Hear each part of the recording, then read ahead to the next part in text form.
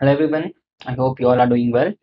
So in this session, I'm here with the uh, topic called how to import airfoil coordinates inside the SolidWorks. So this is done by using the airfoil tools website. From there, we're gonna just uh, download the coordinates with respect to the chord length and I will create the airfoil structure and also import into the ANSYS. Let's get started with this. Yeah, so I need to create the airfoil structure here. So for that, you need to go to Chrome and you need to search for uh, NACA airfoils and you need to select the first link. So let me just showcase the same thing. NACA airfoil, if you just select it, uh, you'll get this airfoil tools. From here, you can able to select. So right now, I'm look, looking for a NACA 64 3 618 airfoil. I need this. So if you want to generate the coordinates for this, you need to click on this option. See this send to airfoil plotter. If I do it, the same airfoil NACA 643618 will be imported to the airfoil plotter. Now here I need the uh, chord length of uh, 1 meter exactly, but I want to scale it to 15, like 0.15%. So it is 150 mm, right? So I'll simply click on plot. So it will plot that airfoil with respect to chord length of 150 mm. So once you do that, you can export this as CSV files. So just click on download. The files will be downloaded.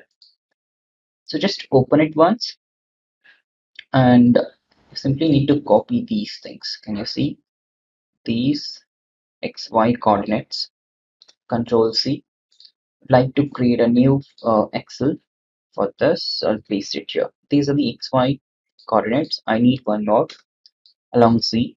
So along C column, I'll create it. All coordinates are zero, so it should be at the center. Okay. So coordinates are ready. So what I'll do is uh, I'll just save this on the desktop. You can create a new folder if you want. Uh, let me just specify the desktop. New folder. Uh, airfoil. Okay. I'll open it. Airfoil. Coordinates. I'll save it as Excel and now I'll save this as text file so which is very essential to add it into the uh, software. So I'll just mention the same thing save okay. So once I save it just close the file. So to that you can go back to the software I'm using SolidWorks.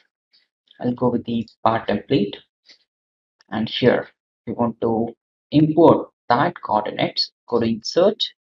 I want to import the curve.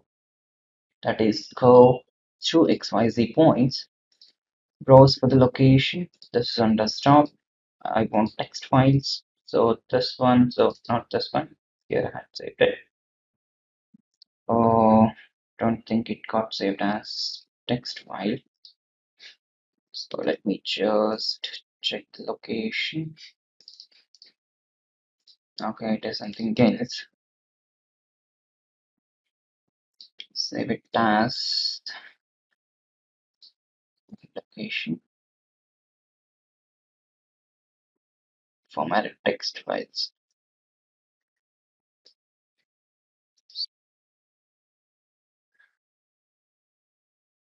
think let me just check any other options that are available. Uh, text only. Let us see. So that would be the appropriate format.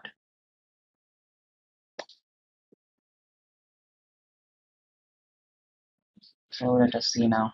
Yeah it's available. Open it and just click OK. It's ready here, isn't it? So let me just go to the front plane and uh, try to just convert this. So this is ready. Now, if you want to do the analysis, so you need to create the boundary for this. So for that, I would like to create the same thing. Let me go with the center circle like this, and I need a line uh, which should be approximately like this. So now it's time to define the dimensions for this.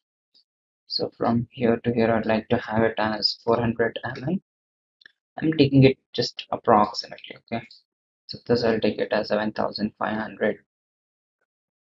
That's a diameter it has taken, so divide it by 2.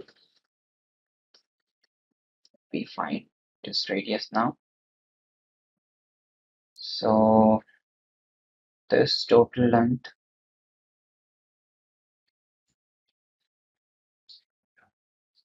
this is quite okay. So now I'd like to add a certain thickness for the sketch. So consider 0.1 mm. Okay.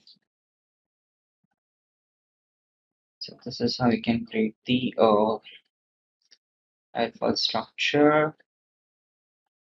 You can just import it.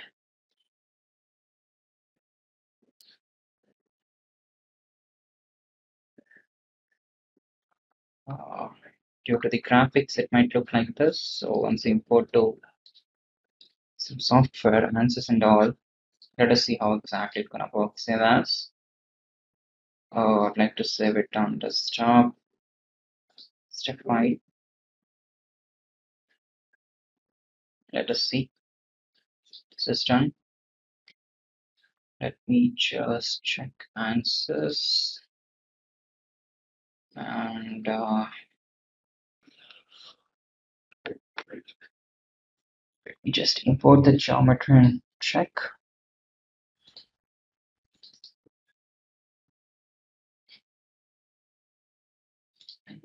I'll import the same geometry which I had saved on desktop. I'd like to open with design Modeler, not with this baseline. Just generate this and make it normal to view. And this is fine. Yep. Yep, so this is how we can just uh, create this airfoil model by using the SolidWorks and uh, we can just import the same model inside the ANSYS by creating the step files and all. So I hope you got a clear idea about the same thing. So if you have any doubts, you can uh, comment below this particular video, which I'll be posting. Yep, so that's all guys. Thank you. Stay tuned. Bye everyone.